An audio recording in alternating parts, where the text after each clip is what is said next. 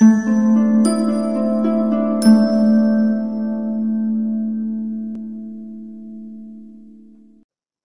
again everyone, thanks for joining this video on semi-conservative replication of DNA.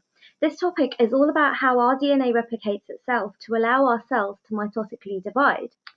This topic is a crucial part of the A-level syllabus and also necessary for units 10 and 11 on the BTEC Applied Science, so that's the Biological Molecules unit and the Genetics unit. Before any form of cell division takes place, the cell must double its DNA. It does this by a process called DNA replication. DNA replication occurs during interphase of the cell cycle at an astounding rate. As many as 4,000 nucleotides per second are replicated. This explains how bacterial cells with as many as 4 million nucleotides can complete a cell cycle in about 20 minutes. The process ensures that each resulting cell receives a complete set of genes from the original cell. There are three stages to semi-conservative replication. The first stage is where DNA unwinds from its double helix structure in small bubbles in different locations of the DNA. The second is the making of new strands, and the third is a rewinding of the DNA molecule. The entire process needs two very important enzymes, DNA helicase, which has the role of breaking the hydrogen bonds between the bases, and DNA polymerase, which joins two nucleotides together on new strands. I will touch on both of these later in the video, but first I want to go through the process of replication. So with the first stage, we have the unwinding of the DNA molecule. You know that a normal chromosome here exists of an unreplicated DNA molecule. Before cell division, this long molecule of double-stranded DNA has to be replicated. So if we zoom into one part of the chromosome, we would see this double-stranded DNA section. And if we zoom in further, we would see where the DNA would become unwound. This yellow triangle represents DNA helicase. The DNA molecule first becomes untwisted and separated. I use the analogy of a zip to illustrate this point to students. Imagine a zip on your clothing that is undone so the two parts of the clothes separate like on a hoodie or a jacket.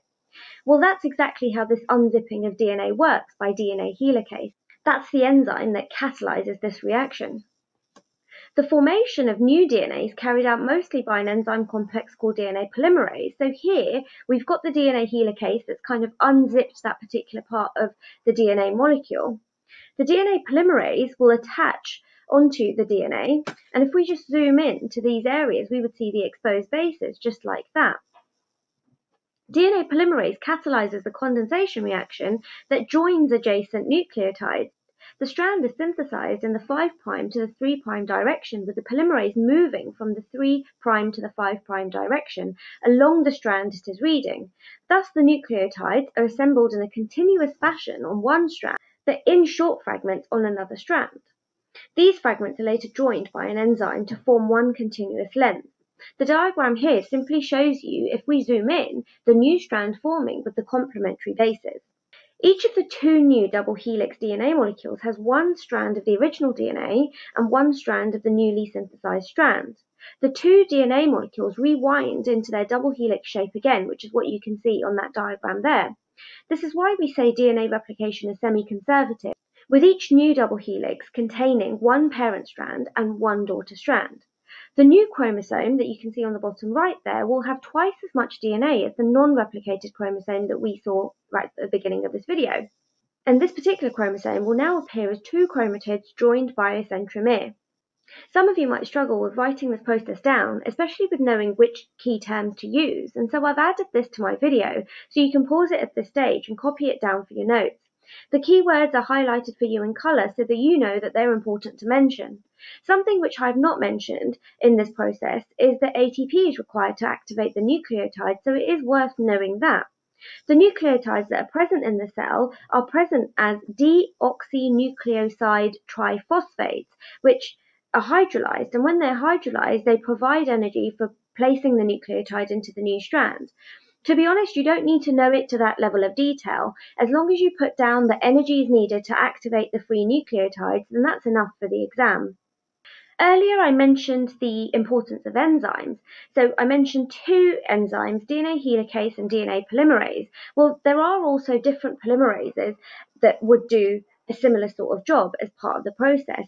Again, these enzymes you may come across in the exams or in textbooks, but the main two that you need to know about are DNA helicase and DNA polymerase. Now, DNA replication involves lots of enzyme controlled steps, and as DNA is replicated, enzymes basically proofread it and correct mistakes. During replication of the DNA, a mistake is made once every 100,000 or so nucleotides replicated. These mistakes are corrected in two ways a process called proofreading, and a second process called mismatch repair, which occurs after replication. The polymerase enzyme can only work in one direction, so when a new strand is constructed, it's constructed as a continuous length, and the other strand is made in shorter segments to be later joined together. So these enzymes have their different functions as part of DNA replication. You can see over here that RNA polymerase will synthesize short RNA primers, which are later removed. DNA polymerase will add the nucleotide and when we talk about short segments being made, it's DNA ligase that will join the neighboring shorter fragments together. Again, no need to kind of mention this in an exam. The main points to mention are the ones that were on the previous slide with the word description of what happens as part of semi-conservative replication. So I know that was a short video, guys, but I hope that was helpful. I don't want to bang on for ages about stuff like this because there is no need to overcomplicate the matter. If you've got any questions, then please comment below this video. But for now, thank you so much for watching, and hopefully I'll see you soon. Bye!